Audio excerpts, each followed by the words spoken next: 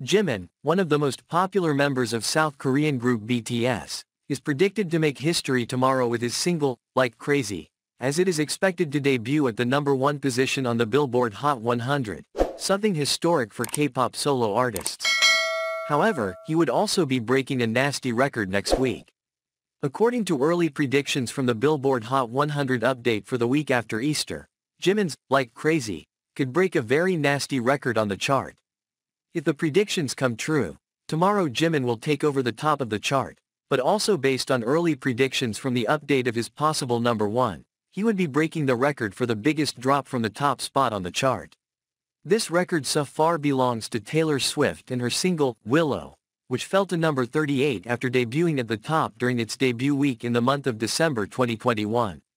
For now, it will remain to wait for new prediction updates for the Billboard Hot 100, but as expected, like crazy, could be dropping as much as 40 plus spots from the top spot in its second week.